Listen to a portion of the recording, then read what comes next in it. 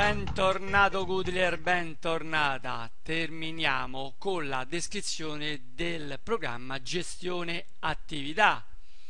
Ti sarai resa conto, ti sarai reso conto che ti permette di gestire meglio le attività in termini di controllo e diagnostica. Credo che tu abbia già chiuso dell'applicazione, ora andiamo a vedere dei processi. Cosa sono i processi?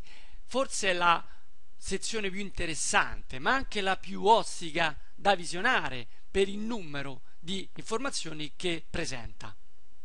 Qui troverai diverse colonne. La prima è il nome dell'immagine, in pratica è il nome del processo, che evidenzia una serie abbastanza ampia di nomi o sigle che rappresentano i processi attivi in tempo reale.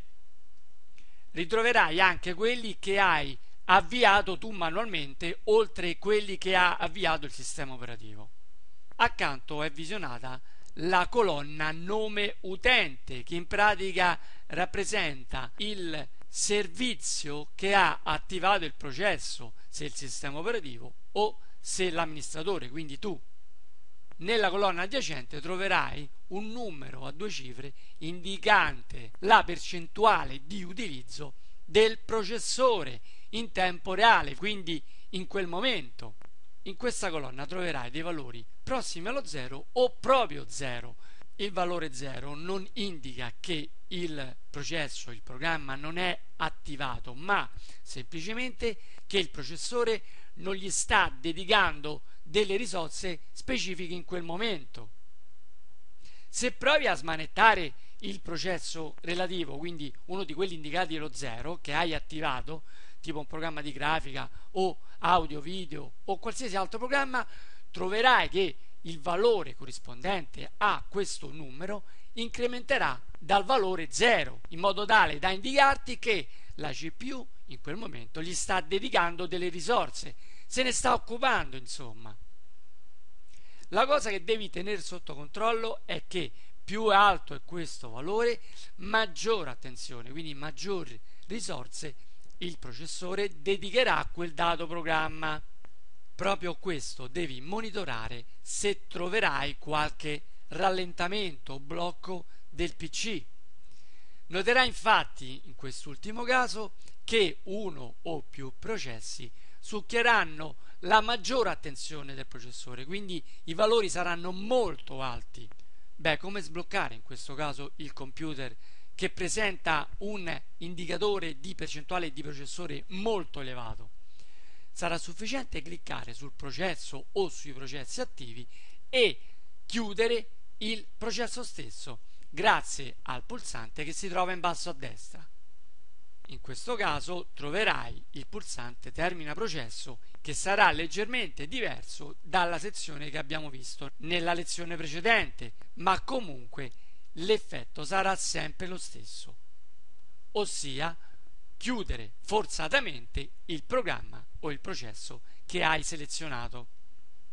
Occhio a una cosa, noterai che c'è un valore molto alto, prossimo al 100%, indicato con il nome processo di inattività del sistema. Ironicamente è in pratica il tempo che il processore si riposa. Sembrerebbe che il processore non faccia niente per la maggior parte del tempo. In realtà, per spiegarti meglio questo numero, immaginati alla guida di un'automobile su un'autostrada nel momento in cui hai raggiunto una tua velocità di crociera standard. Hai la marcia inserita più alta, l'autoradio con una bella musica e totalmente rilassato aggiungendo anche qualche altra operazione che vuoi tu, ma tutto con estrema calma. La tua unica attenzione, per modo di dire, sarà rivolta al mantenimento del tuo stato di guida. Quindi, se in pratica avessi un indicatore di energia consumata in quel momento collegato al tuo corpo, in questo specifico momento indicherà un valore abbastanza basso relativo alla condizione standard, quindi di rilassamento. Ora ti viene in mente di cambiare stazione radio, quindi tu cosa farai? Dovrai sollevare con grossa fatica il tuo braccio, indirizzarlo verso l'autoradio per cambiare la stazione. In questo caso l'indicatore di consumo incrementerà un pochino il valore fino a tornare alla condizione standard. Ma tu non è che stai facendo nulla, stai semplicemente guidando. D'un tratto devi superare una macchina, quindi metterai la freccia, scalerai la marcia, eseguirai il sorpasso e tornerai nella corsia di crociera incrementando di nuovo il valore per un dato periodo. Quindi in quest'ultima azione l'indicatore di consumo subirà un elevato incremento per poi ristabilirsi in una condizione abbastanza standard. Questo esempio per farti comprendere meglio il senso del valore così alto per il processo di inattività del sistema. Ciò che intendo sottolineare è che devi verificare eventualmente quale processo ti porta a un consumo improprio di risorse del processore che ti rende apparentemente bloccato il computer.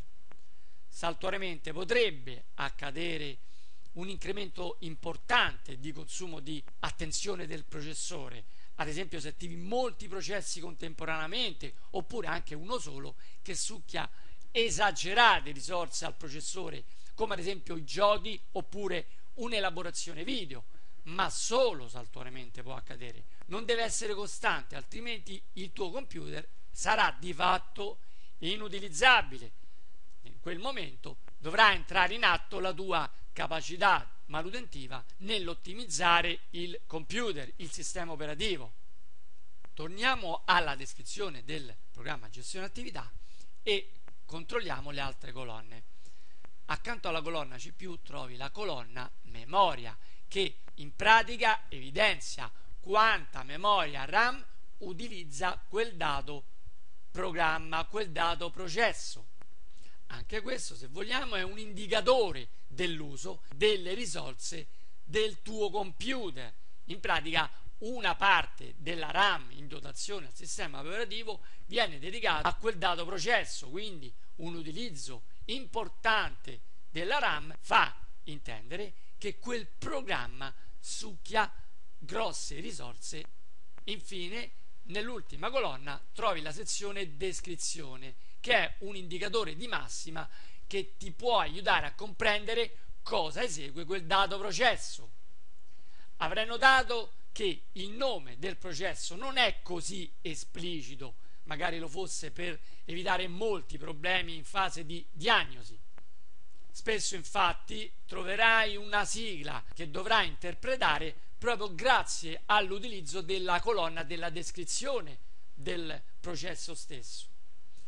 Altrimenti, in caso di difficoltà, puoi fare sempre l'uso, grazie ai motori di ricerca, delle informazioni che potrai ottenere su internet, semplicemente scrivendo la sigla del nome del processo. Ora è il turno della sezione servizi come potrai vedere c'è tanta carne al fuoco, ancor più che nei processi. Qui infatti sono evidenziati tutti i servizi che sono presenti nel sistema operativo. Alcuni di essi sono in esecuzione, altri sono per così dire in stand-by e altri sono disattivati o perché non sono stati attivati all'atto dell'avvio del sistema operativo o perché tu stesso li hai disattivati. Nella colonna di sinistra troverai sempre scritto il nome del servizio. Anche qui troverai sigle abbastanza incomprensibili. Subito dopo c'è una colonna indicata con la sigla PID che identifica il numero che il sistema operativo dà a quel dato servizio.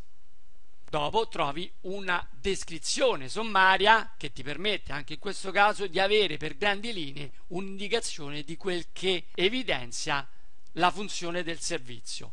Poi trovi la colonna dello stato dello stesso che evidenzierà se il servizio è in esecuzione o è stato interrotto e alla fine il gruppo del servizio, in pratica la categoria a cui appartiene quel determinato servizio. In basso trovi un pulsante chiamato servizi.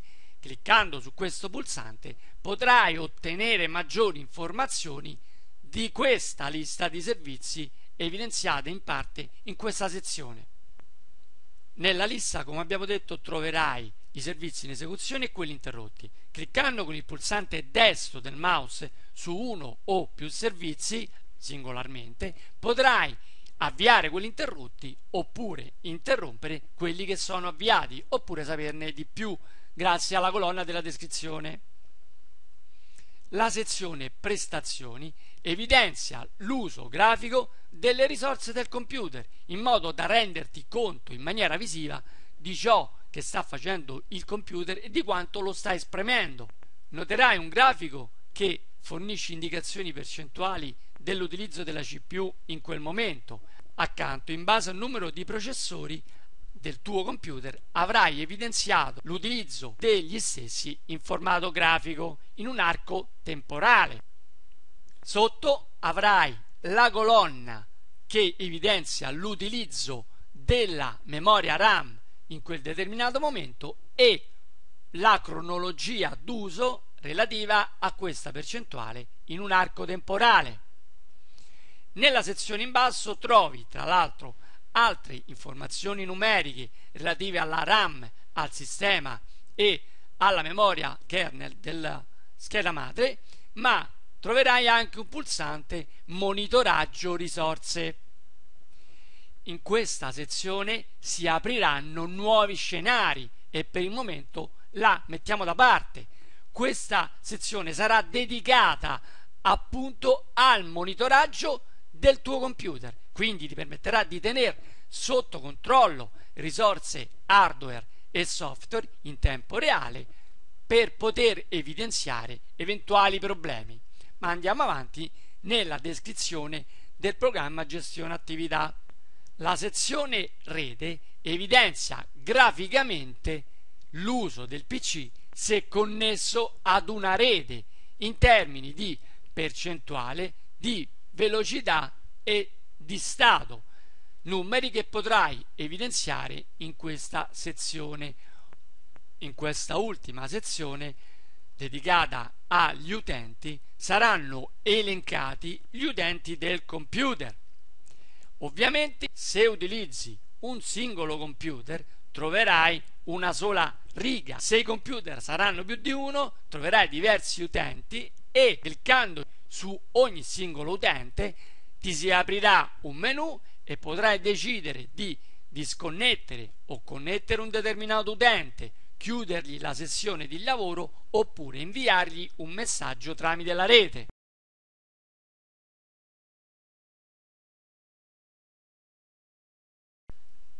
Bene Goodler, eccoci di fronte al nostro desktop. Avviamo, come già sai, gestione attività massimizziamo il tutto e reghiamoci, se non fosse selezionata, la sezione processi. Come puoi ben vedere ci sono alcune colonne, subito ti indico il modo in cui poter cambiare l'ordine se alfabetico o al contrario, quindi sarà sufficiente cliccare su ogni singola colonna, potrai anche ordinarli in base al consumo di CPU oppure in base al consumo di memoria RAM in senso crescente o decrescente oppure in base al nome utente o in base alla descrizione in ordine alfabetico. Ordiniamoceli in base a un ordine alfabetico e vediamo come poter interagire con i processi. In questa sezione ho avviato dei programmi che normalmente non utilizzo ma che lavorano in background. Potrai disattivare i tuoi processi semplicemente cliccando, come abbiamo detto, o con il pulsante destro e selezionando termina processo oppure selezionando il processo che vuoi chiudere e cliccando sul pulsante termina processo. Vediamo alcuni esempi. Qui ho un programma di gestione di iTunes che normalmente non utilizzo, sarà sufficiente cliccare con il pulsante termina processo ad una conferma, vedrai che questo programma si chiuderà Altro programma che posso chiudere, la ricerca degli aggiornamenti di un browser chiamato Dragon. In questo caso utilizzo il pulsante termina processo. Una conferma sarà richiesta, cliccando sopra chiuderò il processo che non mi serve. Altra possibilità di chiudere che non avevo ancora evidenziato con il tasto canc. La richiesta sarà sempre notificata e quindi io cliccando sul termine processo chiuderò il processo che non mi serve. E così per tutti gli altri processi che vuoi chiudere e di cui conosci la provenienza. Per gli altri processi dubbiosi non ti resta che individuare una maggiore informazione con la colonna descrizione o, come vedremo in seguito, grazie ai servizi o ancora meglio, grazie ad internet stesso. La colonna accanto al nome immagine evidenzia la percentuale di utilizzo del processore. In questo caso, come puoi vedere, il programma che sto utilizzando per la registrazione di questa lezione ha un valore che è più alto rispetto agli altri, ma di certo non raggiunge valori elevatissimi tali da bloccarmi il computer. Accanto trovi il valore di memoria che come puoi ben vedere impiegata proprio da questo programma è abbastanza sostenuta a fronte degli altri programmi che sono attivi in questo momento e d'altronde stiamo parlando di un programma che gestisce il video, quindi le risorse in gioco sono abbastanza ampie. Nella colonna nome utente troverai il nome di colui che ha avviato il programma oppure lo ha installato, come nel caso proprio del programma che sto utilizzando per registrare questa lezione. Nella colonna di destra puoi avere un'indicazione di massima di quel che è la descrizione del processo. Come puoi vedere hai una variazione frequente della visualizzazione. Questo perché ho in questo caso deciso di ordinare la visualizzazione in base al consumo di processore. Nel caso in cui ordino la visualizzazione in ordine alfabetico o per qualsiasi altro parametro, vedi che è abbastanza statica in quanto le variazioni saranno sì evidenziate, ma l'ordine non dipenderà più da questa colonna che è molto dinamica, ma dalle altre che sono statiche. Andiamo nella sezione servizi. Qui puoi, ordiniamocelo sempre, vedere il nome dei servizi che sono attivi qui il numero identificativo che il sistema operativo fornisce al processo stesso, dove non sono indicati i numeri, ciò evidenzia che il dato servizio in questo momento è interrotto. Al centro trovi la descrizione che ti può aiutare per capire cosa esegue meglio il processo. Accanto c'è la colonna stato del processo, quindi puoi ordinarla in base ai processi in esecuzione o interrotti e nell'ultima colonna c'è una descrizione di quel che è il gruppo, ossia la categoria nella quale rientra questo specifico servizio. Cliccando sulla sezione servizi entreremo in una sezione più definita rispetto ai servizi che hai attualmente visualizzato. Clicchiamoci sopra e andiamo a dare una visione di massima. Massimizziamo il tutto allarghiamo un pochino le colonne per una miglior lettura su ogni servizio che puoi selezionare anche qui ordinare a tuo piacimento puoi avere un'indicazione di massima o in questa colonna o in questa di ciò che evidenzia il singolo servizio in modo da avere un'indicazione migliore del compito che sta eseguendo quel determinato servizio. Potrai ordinarlo in vario modo seguendo un ordine di servizio avviato o servizio interrotto. Andando a individuare lo stato del servizio, un servizio avviato può essere arrestato o riavviato tramite questi pulsanti oppure cliccando con il pulsante destro semplicemente individuando il pulsante arresta. Andando su un processo che non è stato avviato potrai avviare lo stesso o tramite questo pulsante o con il menu del pulsante destro generato dal mouse chiudiamo e andiamo a vedere le altre sezioni di gestione attività nella sezione prestazioni potremo vedere la sezione relativa all'utilizzo della CPU, in questo caso siamo intorno al 30%, oppure graficamente l'impiego dei due processori installati all'interno di questo computer. sotto evidenziato il valore in megabyte della quantità di RAM utilizzata e qui la sua quantità cronologicamente parlando in un tempo determinato di utilizzo. In basso trovi un'altra sezione che rappresenta numericamente dei dati riferiti alla memoria fisica, quindi alla RAM disponibile in questo dato computer, e alcuni numeri relativi al sistema e alla memoria kernel della motherboard. Questo pulsante monitoraggio di risorse evidenzierà alcune informazioni che ti permetteranno di monitorare lo stato di hardware o software nel caso in cui devi diagnosticare ed evidenziare qualche problema. Cliccandoci sopra andiamo a vedere soltanto cosa ci presenta il programma e magari lo tratteremo in seguito. Andiamo a vedere la sezione rete di gestione di attività. Questo computer è connesso semplicemente ad internet e non ad una rete di computer. In questo caso ho una percentuale molto bassa di utilizzo alla rete locale. L'ultima sezione è relativa agli utenti. In questo caso, come dicevo prima, questo è un unico computer di una rete per cui comparirà soltanto un nome. Nel caso in cui hai una rete di computer, cliccando con il pulsante destro potrai decidere di disconnettere ed eventualmente riconnettere l'utente, chiudergli la sessione o eseguire un controllo a distanza oppure inviargli un messaggio.